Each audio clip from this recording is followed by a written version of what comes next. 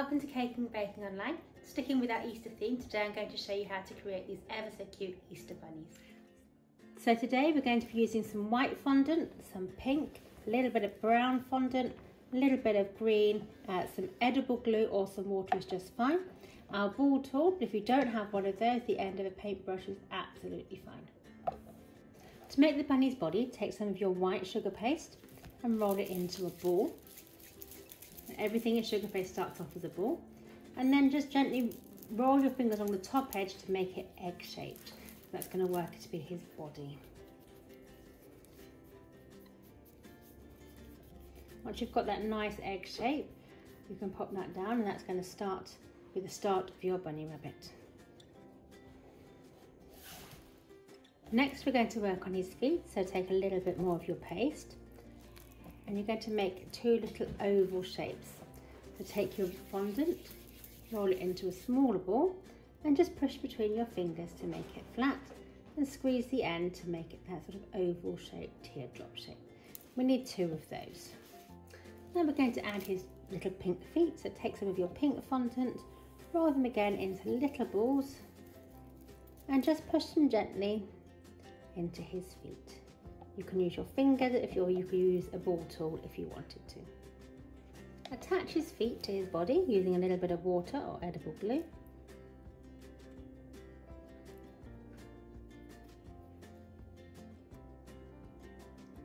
And then stand him up.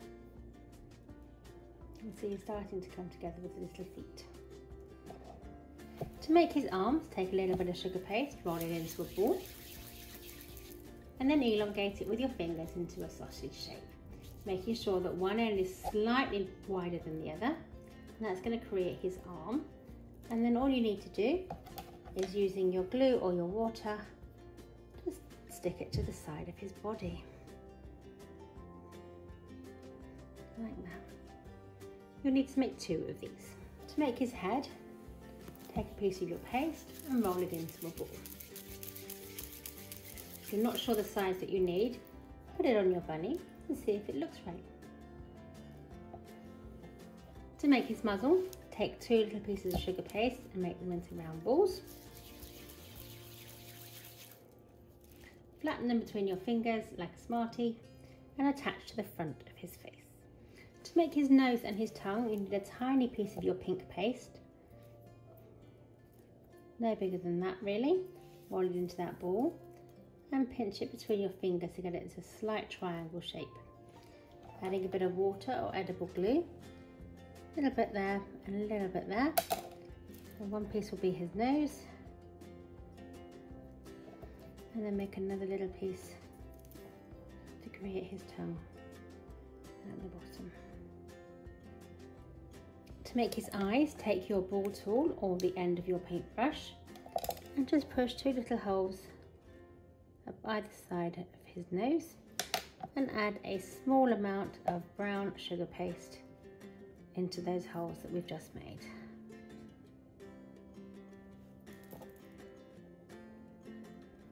And then just pop them in with your ball tool or your paintbrush.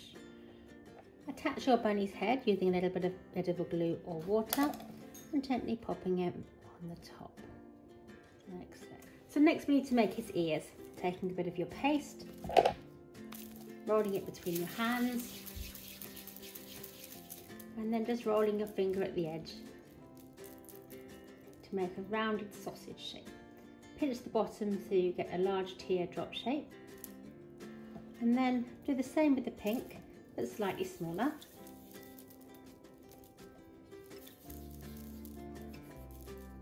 And then simply push the pink into the white to create an ear. You need two of these. Attach your bunny's ears to his head by making small holes with your ball tool where you want your ears to be. Adding a little bit of water or edible glue to those holes and then positioning the ears onto his hold them there for a little bit so they're stuck and then maybe twist the end one so it just curls over at the end.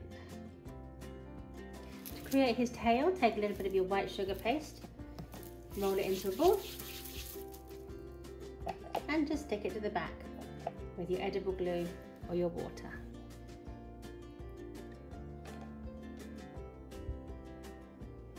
Just to finish our bunny, we're going to give him a bow tie. So take some of your green sugar paste, roll it into a ball, squish it between your fingers to make it a smartie, and pinch the ends to make it a pizza shape. You want to make two of these and finish it off with another little bit of paste rolled into a ball and placed in the middle to make his bow tie. You can then attach that to your bunny, either under his neck or on his ear, depending on where you want it to be. And here is our completed Easter bunny.